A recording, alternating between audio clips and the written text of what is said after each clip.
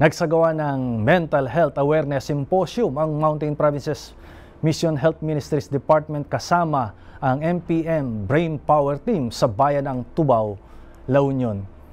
Ito ay dinaluhan ng mga SK chairman sa naturang bayan kung saan ang mga kalabang ibinahagi doon ay nagsusulong ng kalusugan ng pag-iisip ay nasa magdulot ng mabuting kapakinabangan sa pangunguna ng mga kabataang lingkod bayan. Ang balitang may pag-asa, hatid ni Jackson Claudio.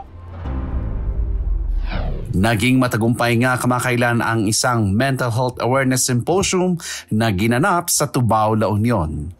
Sa kadahilanan nga na pinagsama-sama nito ang mga SK chairmans mula sa buong munisipyo upang talakayin at tugunan ang mga issues sa kalusugan ng isip sa kanilang mga komunidad.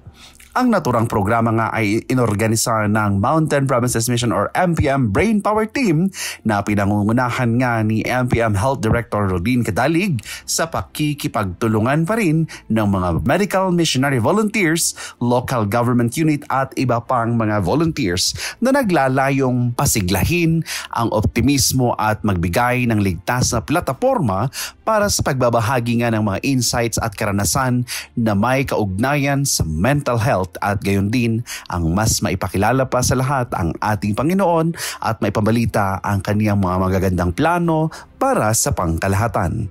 Ang symposium nga ay naging posible sa pamamagitan pa rin ng pangunguna o imbitasyon ng naturang SK Head Federation Abigail Garcia at sa pagsisikap pa rin ng MPM Associate Publishing Ministry Leader RD Patang. Itinampok nga sa kaganapan ang iba't ibang mga aktibidad at talakayan na naglalayong magtatag ng isang mas mapagmalasakit na kapaligiran para sa kalusugan ng isip o mental health.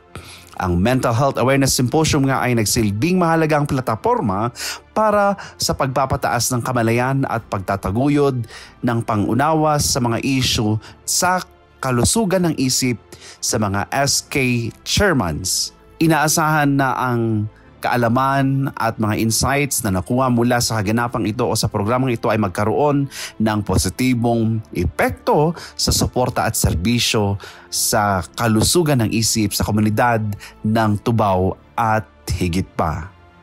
Patuloy nating idilangin ang gawain ito, naghahatid ng mga balitang may dalang pag-asa mula dito sa Mountain Provinces Mission, Jackson Claudio para sa Hope Today and PUC News.